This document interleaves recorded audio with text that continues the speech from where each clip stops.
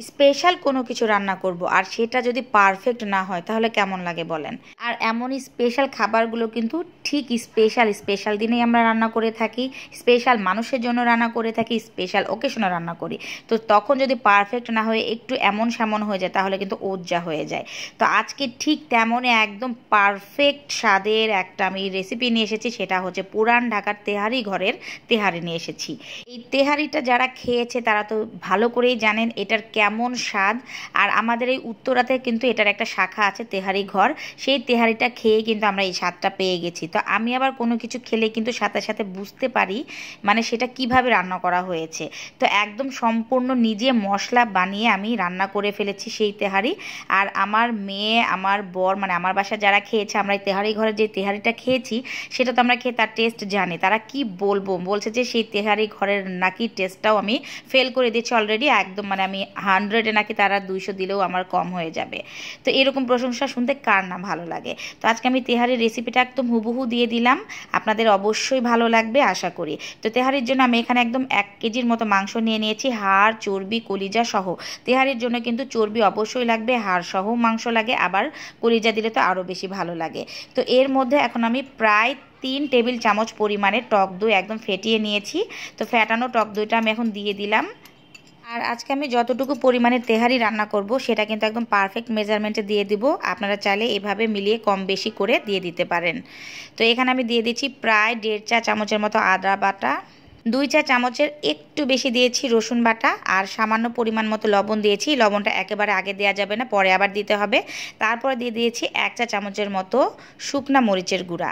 আর এখানে আমি যে মশলাগুলো নিয়েছি, আস্ত গরম মশলা, সেটা হচ্ছে তেরো থেকে চোদ্দ টুকরা এলাচ নিয়েছি, কয়েক টুকরা দারুচিনি নিয়েছি, সামান্য একটু নিয়েছি জয়ত্রী, আর আট দশটা গোলমরিচ নিয়েছি, সাথে নিয়েছি একটা জয়ফলের সামান্য একটা অংশ মানে অর্ধেকেরও আরও অর্ধেক। তো এগুলো কিন্তু আমি হচ্ছে একবারে একটা হামাল দিস্তাতে শুধুমাত্র গুঁড়া করে নিব। আর তার আগে আমি এখানে দিয়ে নিয়েছি একটু গরম মশলার গুঁড়া। তো এই তো আমি গুঁড়া করে নিয়েছি। এগুলো কিন্তু একদম ভাজা লাগবে না, কোনো কিছু করা লাগবে না। যে মশলাগুলো আমি আস্ত দেখিয়েছি, সেগুলোই আমি এভাবে হামাল দিস্তাতে খুব সুন্দর শুকনা করে গুঁড়া করে থেতো করে নিয়েছি। আর তার আগে কিন্তু আমি দিয়ে দিয়েছিলাম এক চা চামচের মতো একটু গরম মশলা গুঁড়া। আর এখানে আমি পেঁয়াজ সটে করে বেটে রাখি। এটা আমি সবসময় ব্যবহার করি আমার বিরিয়ানিতেও। তো এখানেও দিয়ে দিয়েছি। প্রায় আড়াই টেবিল চামচ পরিমাণে দিয়েছি। এখন এগুলো সব মেরিনেট করার পালা। তো একদম ভালোভাবে এটা মেরিনেট করে আধা ঘণ্টা থেকে এক ঘণ্টা রেখেই কিন্তু রান্না করা যায়। কিন্তু আমি এই মেরিনেশনটা রেখে দিয়েছিলাম একদম ওভারনাইট নর্মাল ফ্রিজে তাও খুব সুন্দর করে ঢেকে। আমি কিন্তু যেদিনকে তেহারি রান্না করব বা বিরিয়ানি রান্না করি, তার আগেই রাত্রের বেলায় আমি এরকমভাবে মাংসটা মেরিনেট করে প্রসেস করে একদম ওভারনাইট নর্মাল ফ্রিজে রেখে দিই। এতে কিন্তু আমার সময়টা অনেক বেশি বেঁচে যায়। আর এখন তেহারি রান্না করার জন্য সাইজ যে আমি একটা পাত্র নিয়ে নিয়েছি, সেটা খুব ভালো করে হিট করে গরম করে নিয়ে এখানে সরিষার তেল দিয়ে নিলাম। তেহারিতে কিন্তু অবশ্যই সরিষার তেল ব্যবহার করতে হবে। তো সরিষার তেলটা এত পরিমাণের বেশি দিয়েছি, এই তেলেই কিন্তু আমার চালটাও রান্না করা হবে, সেটা মাথায় রেখে আমি তেলটা পরিমাণে একটু বেশি দিয়ে দিচ্ছি।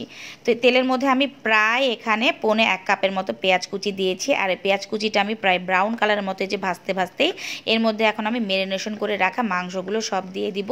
আর মাংসগুলো দিয়ে আমি খুব ভালোভাবে এটা একটু নেড়ে চেড়ে হাই আর মিডিয়াম জালের মাঝামাঝি পর্যায়ে একটু রেখে ঢাকনা দিয়ে এটা ভেজে নিব। এটা সর্বোচ্চ আমি তিন থেকে চার মিনিটের মতো ভাজবো।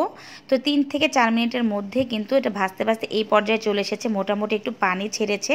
আর এই পানি ছাড়া অবস্থাতে আমি জোরে জাল দিয়ে আর কিছুক্ষণ এটা ভাজবো। আর তারপরে কিন্তু এটা যখন এই পর্যায়ে একটু তেলটা ছেড়ে যাবে, এখন আমি দিয়ে দেবো একেবারে গরম পানি। যেই পরিমাণের পানিতেই কিন্তু আমার এখন এই মাংসগুলো সিদ্ধ করা লাগবে। তো সেই অনুযায়ী আমি পানিটা দিয়ে দেবো। এই পানিটার কিন্তু আসলে মেজারমেন্ট লাগে না। আমি এটা আনুমানিক একটা আন্দাজেই দিয়ে দিয়েছি। আর ঢাকনার ছিদ্রটা কিন্তু অবশ্যই বন্ধ করে নিয়েছি, যেন দ্রুত মাংসটা গলে যায়। আর রান্নার 10 থেকে পনেরো মিনিটের মাঝখানে কিন্তু পাঁচ মিনিট পর পরেই আমি একটু করে এভাবে নেড়ে চেড়ে দিয়েছি। তো নাড়াচাড়ার এক পর্যায়ে যখন মাংসটা প্রায় হয়েই এসেছে, ঠিক এই সময় কিন্তু এই যে আস্তে আস্তে ছোটো আলু দিয়ে দিয়েছি। এটা কিন্তু একদম দেশি আস্তে আস্তে ছোটো আলু, সেগুলো খুব সুন্দর করে আমি ছিলে নিয়েছি। আর এটা না দিলে কিন্তু এই পুরান ঢাকার তেহারি ঘরের তেহারি হবেই না। এটাই হচ্ছে এই তেহারির বিশেষত্ব। তারপরে কিন্তু আস্ত ছয় সাতটা আমি কাঁচামরিচ দিয়ে দিয়েছি। এখন এই আলুগুলো সিদ্ধ করতে যতটুকু সময় লাগবে। একদম উপরে তেল না ভেসে উঠে ঠিক ততটুকু সময় একটু জোরে জাল দিয়ে এটা ঢাকনা দিয়ে আমি ঢেকে দিব। আর চার থেকে পাঁচ মিনিটের পরেই কিন্তু ঢাকনা খুলে ফেলব। চার থেকে পাঁচ মিনিটের মধ্যে যা সিদ্ধ হওয়ার হয়ে গেছে এখন কিন্তু জালটা ফুল আছে দিয়ে দিয়েছি। ঢাকনাটা খোলার পরে তো এখন ততক্ষণ পর্যন্ত এটা আমি নাড়তে থাকব, যতক্ষণ না পর্যন্ত উপরে তেলটা ভেসে আসে। আর এটা কিন্তু খুব একটা বেশি সময় লাগবে না, সর্বোচ্চ দুই থেকে তিন মিনিটের মধ্যে হয়ে গেছে। আর এই তো দেখতেই পাচ্ছেন, তেলগুলো কিন্তু ভেসে উঠে আছে। তেল থেকে যে মাংস আর আলুটা ছিল, সেটা কিন্তু আমি একদম আলাদা করে নিয়েছি। এখন এই পাত্রে যেই পরিমাণের তেল আছে, সেই তেলে আর এই সামান্য একটু মশলাতে কিন্তু আমি এই চালগুলো ভেজে নিব। আমি এখানে প্রাণ চিনি গুঁড়া চাল নিয়েছি, প্রায় তিন পট। তো এই চালটা আমি ততক্ষণ পর্যন্ত ভাজতে থাকব, যতক্ষণ একটু ব্রাউন ব্রাউন কালার হয়ে আসে।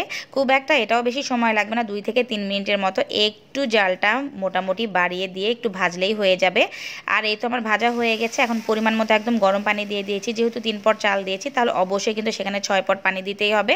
চাল যদি পুরাতন হয় বা নতুন হয় সেই ক্ষেত্রে কিন্তু পানি একটু কমা বাড়া করতে হয়। কারণ নতুন চালে একদম পানি লাগে না বললেই চলে, ছয় পটেই লাগবে তিন পটের চালের জন্য। আর একটু যদি পুরান চাল হয়, তাহলে সেখানে একাকটুক বেশি লাগতেই পারে। সেটা কিন্তু পরেও দেওয়া যাবে, গরম পানিটা সেজন্য আমি রেখে দিই। তো এখনই তো চালটা যখন মোটামুটি ফিফটি পার্সেন্ট গলে গলে এসেছে ঠিক তখন আমি তুলে রাখা মাংস আর আলুগুলো সব এর মধ্যে দিয়ে দিয়েছি। এখন এটা খুব সুন্দরভাবে মিশিয়ে ফেলব আর এর মধ্যে কিন্তু অবশ্যই আমি কাঁচা সরিষার তেল দিয়ে দেবো। এই সময় যে তেলটা দিলাম, এই তেলের যে ঘ্রাণটা আসবে, এটাই কিন্তু একদম পারফেক্ট তেহারি ঘরের তেহারির স্বাদ নিয়ে আসবে। তো এইভাবে কিন্তু এখন আমি সম্পূর্ণটা নেড়ে চেড়ে উল্টা পাল্টা করে মিশিয়ে দিচ্ছি। এটা একদম দমে দেওয়ার পর্যায়ে চলে এসেছে। চালের যতটুকু পরিমাণের পানি আছে সেই পানিতে আর এই যে দমেটা আমি দিয়ে দেবো ঢাকনাতে ধীরে করে, সেটাতে কিন্তু পারফেক্ট আমার তেহারি হয়ে যাবে। আর একটা তেহারিতে দিতে হবে অবশ্যই সেটা হচ্ছে কেওড়া জল বা গোলাপ জল। এই কেওড়া জল বা গোলাপ জল না দেওয়া পর্যন্ত কিন্তু একদম পারফেক্ট তেহারি অসম্পূর্ণ থাকবে। তো আমি সেটাও দিয়ে দিয়েছি আজকে, বাস একদম দমে দিয়ে দিয়েছি।